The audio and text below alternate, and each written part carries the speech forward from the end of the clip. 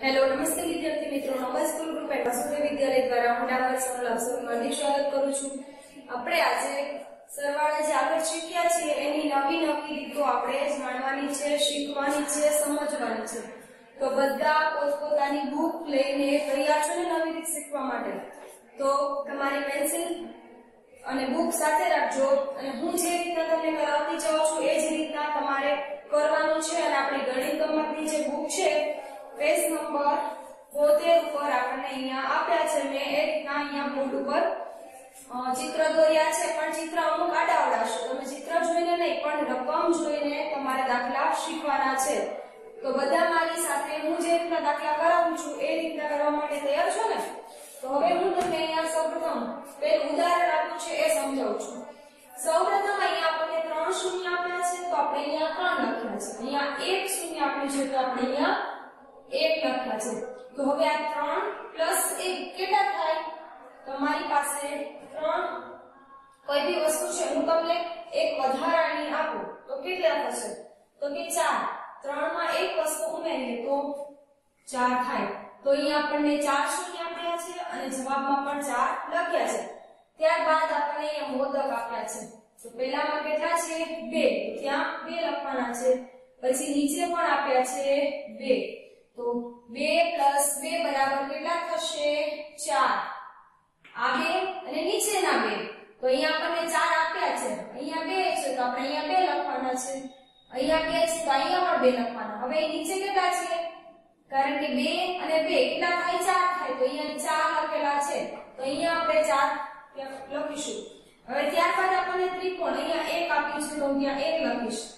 અહીંયા એક બે ત્રણ ચાર ચાર આપ્યા છે તો હું ચાર લખીશ એક પ્લસ ચાર બરાબર પાંચ થઈ તો અહીંયા આપણે ગણીએ ને તો આ ત્રિકોણ પર કેટલા હશે પાંચ એક બે ત્રણ ચાર પાંચ થયા ને પાંચ તો ત્યાં આપણે જવાબમાં લખવાના છે પાંચ હવે અહીંયા આપણે એક આપ્યા છે તો ચિત્રમાં અહીંયા એક લખવાનું। હવે અહીંયા કેટલા આપ્યા છે ત્રણ તો હું ત્યાં લખીશ ત્રણ હવે અહીંયા કેટલા આપ્યા છે એકમાં ત્રણ ઉમેરીએ તો થાય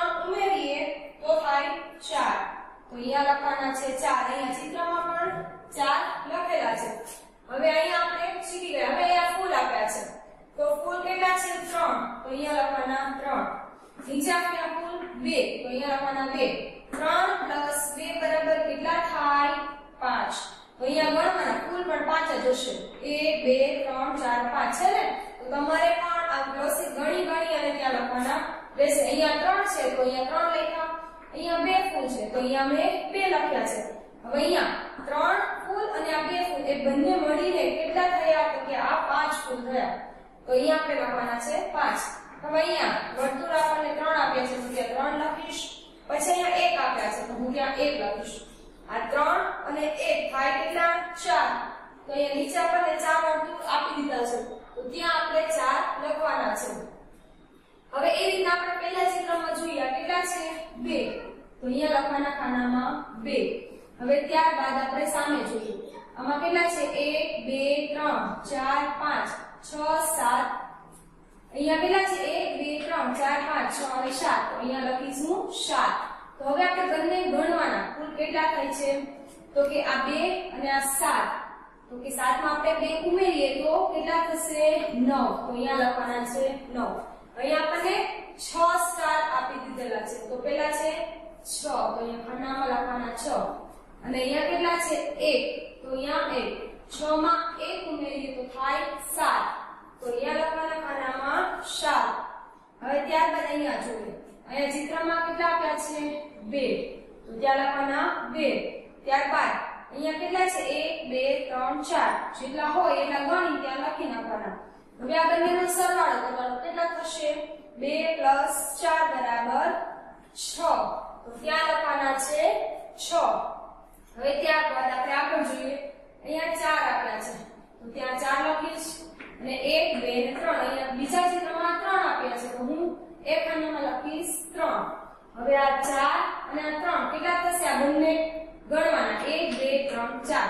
પાંચ, છ અને સાત. બધા ગણી ગણી અને વ્યવસ્થિત સરવાળા કરવાના છે અહીંયા મીણબત્તી આપી છે કેટલી? તો આપણે ગણીએ. એક, બે, ત્રણ, ચાર, પાંચ, છ, સાત. તો પેલા ખાનામાં લખવાના છે સાત. અહીંયા મીણબત્તી કેટલી છે? એક. તો ત્યાં લખીશું એક. હવે સાત પ્લસ એક બરાબર થશે આઠ. તો ત્યાં લખવાના છે આઠ. હવે ત્યારબાદ ફૂલ. પહેલામાં કેટલા આપ્યા છે? એક, બે, ત્રણ, ચાર, પાંચ. તો અહીંયા લખવાના પાંચ. ત્યારબાદ ત્યાં ત્રણ. હવે આ પાંચ પ્લસ ત્રણ બરાબર કેટલા થશે? આઠ. તો ત્યાં લખવાના છે? આઠ. પાંચ અને ત્રણ. કેટલા થાય? આઠ. તો ત્યાં આપણે લખીશું આઠ. હવે આ રીતના તમારે પેજ નંબર 72 ઉપર જે આપ્યા છે ચિત્ર, એના સરવાળા, એ તમારે આ રીતના લખવાના રહેશે. તો ઘરે આની પ્રેક્ટિસ કરો, શીખો અને ધ્યાન દઈ બધા સરવાળા કરો. તો આના પછીના નેક્સ્ટ વિડીયોમાં આપણે બધા ફરીવાર મળીશું. Thank you